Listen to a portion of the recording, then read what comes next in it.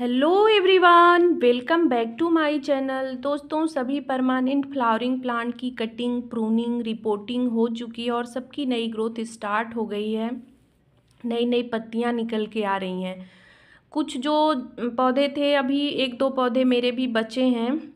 उनमें अभी कुछ काम करना है। तो जितनी भी पौधों की मैंने कटिंग प्रूनिंग की थी, सबकी नई ग्रोथ निकल के आ रही है। ये देखिए डबल चांदनी का पौधा, इसमें भी नई नई ग्रोथ स्टार्ट हो गई है। तो मैंने जितने पौधों की कटिंग की थी, सब अच्छे से चल रहे हैं, सबकी नई ग्रोथ स्टार्ट हो गई है। तो आपने भी कर ली होगी और अगर नहीं किया है तो आप अभी कर लें अपने सभी पौधों की प्रूनिंग ये बहुत ही अच्छा टाइम है। नई ग्रोथ बहुत ही जल्दी स्टार्ट हो जाएगी।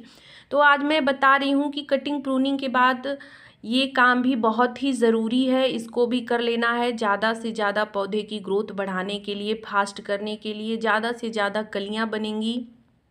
ज़्यादा से ज़्यादा फूल आएँगे पौधे में। और अगर किसी भी प्रकार की समस्या पौधे में होगी तो सभी प्रकार की समस्या इस काम को करने से ख़त्म होगा। बहुत ही ज़रूरी काम है, अपने सभी प्लांट्स पे इस काम को करना बहुत ही आवश्यक है।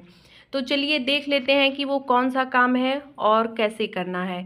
तो उसके लिए मैंने देखिए लिया है यहाँ पे एक मग में एक लीटर पानी और स्प्रे बॉटल में भी मैंने एक लीटर सादा पानी भर लिया है। अब इसमें मैं डाल रही हूँ एक चम्मच एप्सम साल्ट तो एप्सम साल्ट के बहुत ही सारे फ़ायदे हैं। ये पौधे की ग्रोथ को बहुत ही तेज़ करता है फास्ट करता है। एक चम्मच मैं डाल रही हूँ यहाँ पे हल्दी पाउडर। ये बहुत ही अच्छा फंजी साइड है और यहाँ पे मैं ले रही हूँ नीम ऑयल तो दस एम के करीब मैं नीम ऑयल ले रही हूँ। तो ये पूरा लिक्विड दो लीटर पानी में बनाना है इसको और इन तीनों को बना के पौधे पे स्प्रे करना है। तो एप्सम साल्ट पौधे की ग्रोथ भी बढ़ाता है, पत्तियों को लस ग्रीन रखता है, कलियाँ बनाने में मदद करता है, फूलों की मात्रा बढ़ाता है और साइज़ को भी बढ़ाता है। हल्दी पाउडर एक फंजी साइड का काम करता है, किसी भी प्रकार की फंगस होगी बैक्टीरिया सब खत्म करेगा।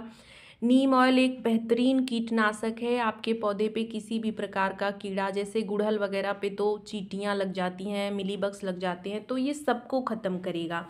तो कटिंग प्रूनिंग के बाद ये काम करना बहुत ही ज़रूरी है। आप अपने सभी पौधों पे, जितने भी फ्लावरिंग प्लांट पे तो बहुत ही आवश्यक है। उन पे ये काम करना बहुत ही आवश्यक है।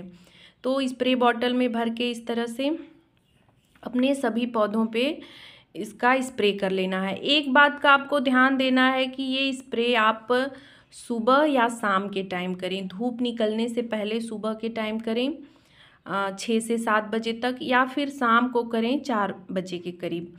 धूप में इस काम को नहीं करना है, इस बात का आप ध्यान रखिएगा।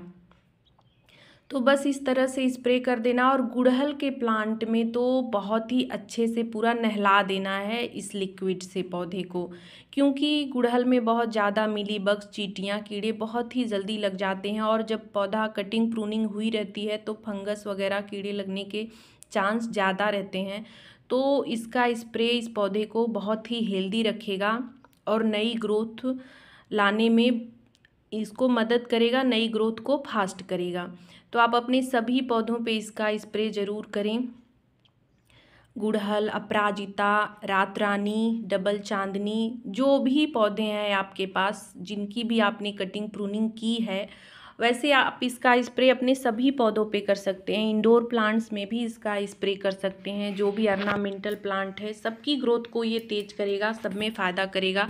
लेकिन फूलों वाले पौधे के लिए अभी इस टाइम कटिंग प्रूनिंग के बाद यह एक बेस्ट उपाय है इसकी ग्रोथ को बढ़ाने के लिए, ज़्यादा से ज़्यादा फूल पाने के लिए, लगातार फूल पाने के लिए।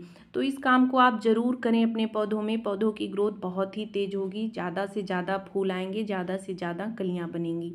तो वीडियो आपको कैसा लगा कमेंट करके ज़रूर बताइएगा।